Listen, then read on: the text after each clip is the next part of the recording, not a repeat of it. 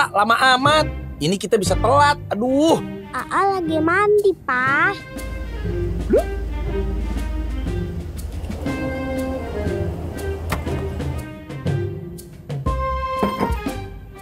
Aa sarapan dulu. Udah mah, sarapan di mobil aja. Nanti kita telat. Eh, eh pelan-pelan, ah, pelan-pelan. Kata papa kita buru-buru kan? Ya nggak usah lari juga, nanti jatuh. Jalan sekarang.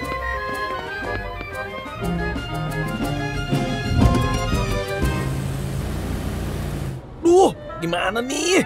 Ini kita pasti telat. Ini nih, kalau kita tadi berangkat lebih pagi, kita nggak akan buru-buru ngejar waktu kayak begini. Ah, kenapa sih bangunnya telat segala? Ini pasti karena ah, tidurnya kemalaman kan? Enggak, Pak. Aa nggak tidur malam-malam. Nggak begadang kok. Ya terus kenapa bisa telat bangunnya? Hmm, main game.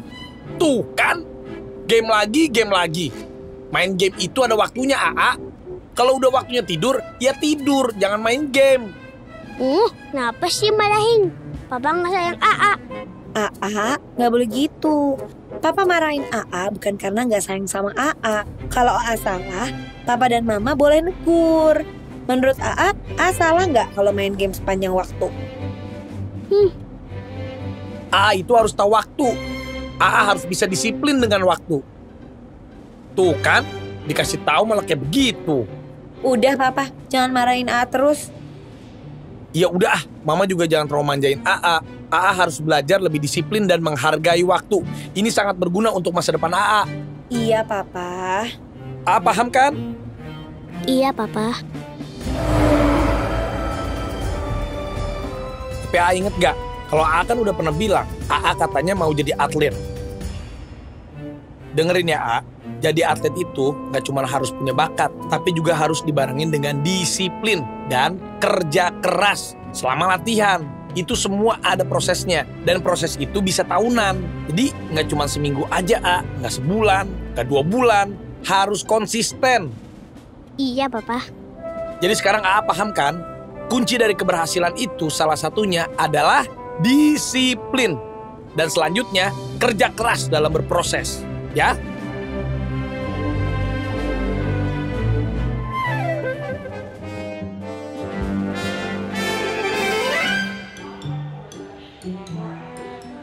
Jakarta Solo untuk tiga orang dewasa dan satu anak kecil. Maaf pak, kereta baru jalan 5 menit yang lalu. Aduh, Kita harus kabarin I.O. Aku telepon dulu ya sayang. Halo, selamat pagi Mas Damar. Em, begini. Dimas, coba-coba kamu cari tiket yang lain deh. Kemarin dicoba sama Mary katanya sih full semua. Tapi siapa tahu sekarang udah ada, pokoknya cari ya. Siap, ah, Rapi. Tapi jarak dari stasiun ke bandara lumayan juga, ah. Ya aduh udah deh, nggak apa-apa udah cobain aja dulu.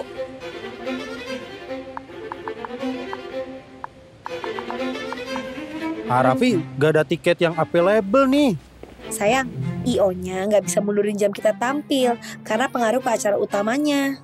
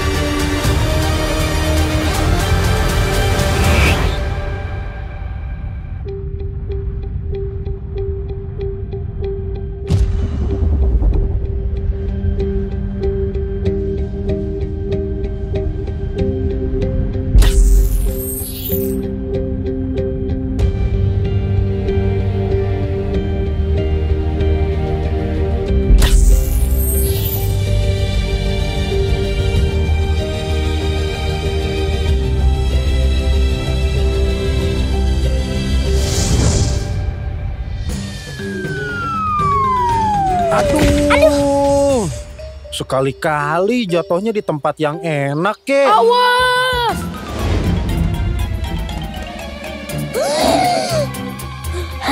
Aduh, duh, duh, duh, duh, duh. Hampir AA kena bola. Agak apa-apa kan?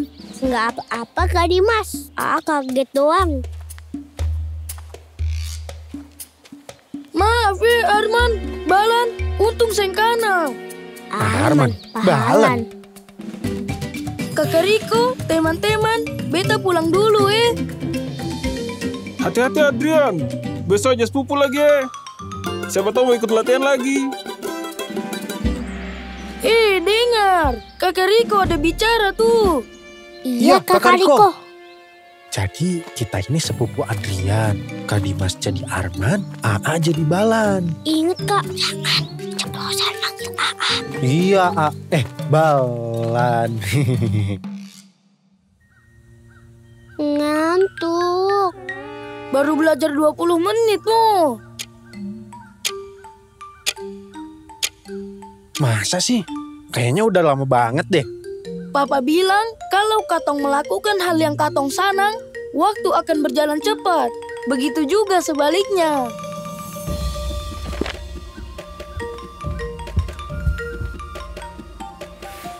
Katong harus menggunakan waktu dengan baik. Seng boleh pemalas kalau mau masa depan cerah. Siap. Eh, ini ada soal. Menjaga keseimbangan hak dan kewajiban dengan disiplin waktu. Kira-kira sila keberapa ya? Sila, sila keberapa ya? Sila kelima, keadilan sosial bagi seluruh rakyat Indonesia. Beta senang, oh, kamu tinggal di sini. Beta jadi punya teman. Temen main, main bola emang harus rame. Biar tambah seru. Bukan, teman belajar, oh.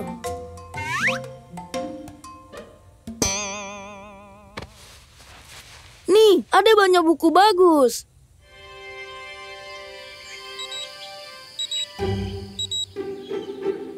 Arman, Balan, bangun! Katong su terlambat lima menit ini. Hmm, gelap. Hmm, belum pagi kan? Iyo, tapi Katong tetap harus olahraga toh. Ya, lima menit lagi deh. Kamu jangan mau kalah sama rasa malas. Ayo bangun.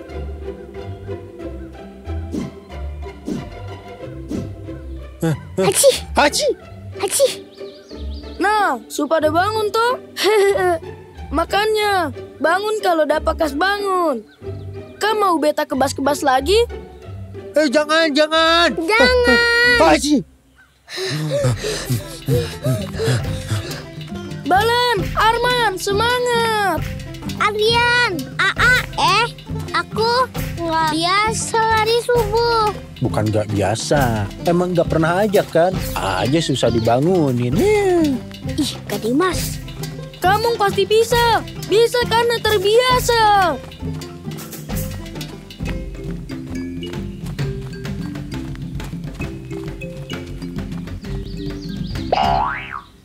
Ayo pulang, mau pergi sekolah. Abis olahraga, enaknya tidur. Kok sekolah sih? Ayo A, ntar kita telat masuk sekolah.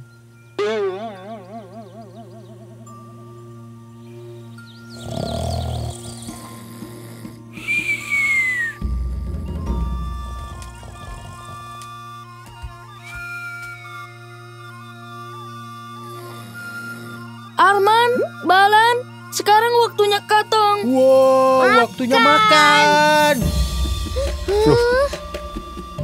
Kamu cari apa? Bukannya ini waktunya makan ya? Belum. Sekarang katong harus beres-beres rumah dulu.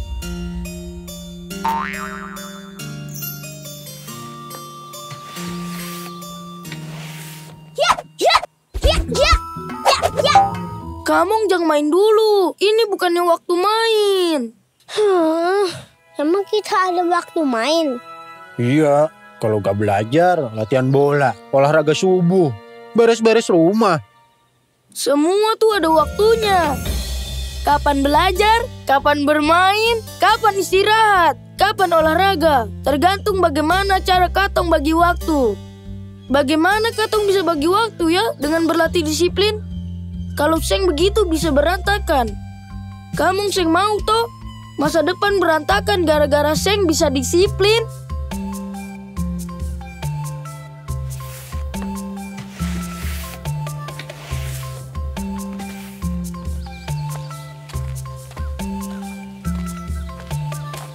Hasil kebun om kita bawa ke pasar ya Iya toh. Soalnya pedagang mulai bajual malam hari. Masih jauh gak sih pasarnya? Tinggal dua kilo saja. Andrian pelan-pelan kan jualannya malam Iyo, malam-malam tapi habis ini kan Katong ada mau latihan bola. Ayo cepat-cepat.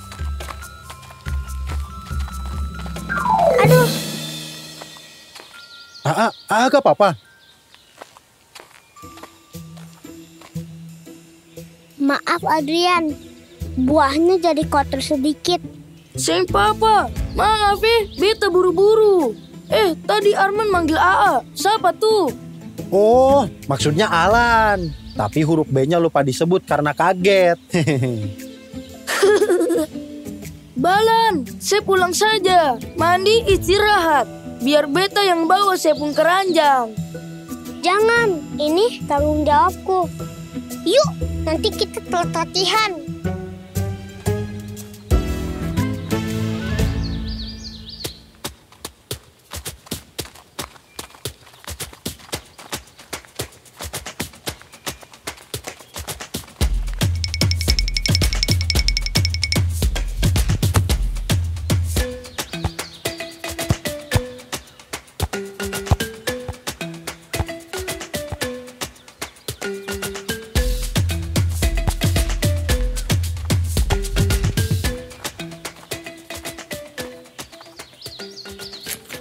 Kamu bisa capek juga.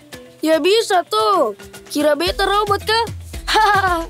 apa sih rahasianya kamu tetap semangat kamu kan sibuk banget bangun dari subuh Iya ya, aktivitas kamu padat banget. Ada mimpi yang mau beta dan tim ini capai. Jadi atlet bola. Iyo. Tapi aku salut loh. Di luar latihan bola, kamu masih ada waktu untuk belajar, beresin rumah, bantu orang tua. Beta kan punya tanggung jawab lain. Belajar dan bantu orang tua. tapi emang waktunya cukup Lebih dari cukup. Yang mengatur waktu kan katong sendiri. Kalau beta sing belajar disiplin, satu saja tertunda, semua yang ke belakang jadi tak tunda. Waktu tuh sangat berharga karena waktu yang sudah lewat seng akan bisa kembali. Jadi, jangan buang-buang waktu, oke?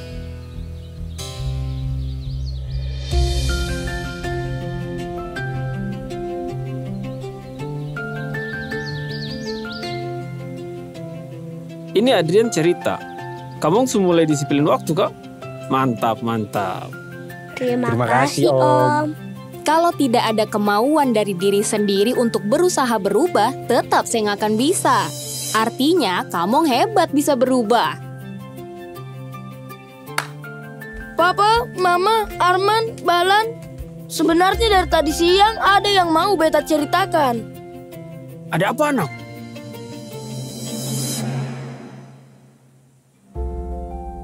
Saya sudah berhasil masuk tim bola. Iyo, Pak. Selamat anak. Kerja keras dan kedisiplinan akan selalu membuahkan hasil. Mama bangga sama Adrian. Kamu keren, Adrian.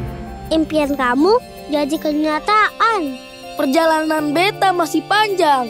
Beta seng akan puas dulu. Karena ini baru awal permulaan mimpi beta.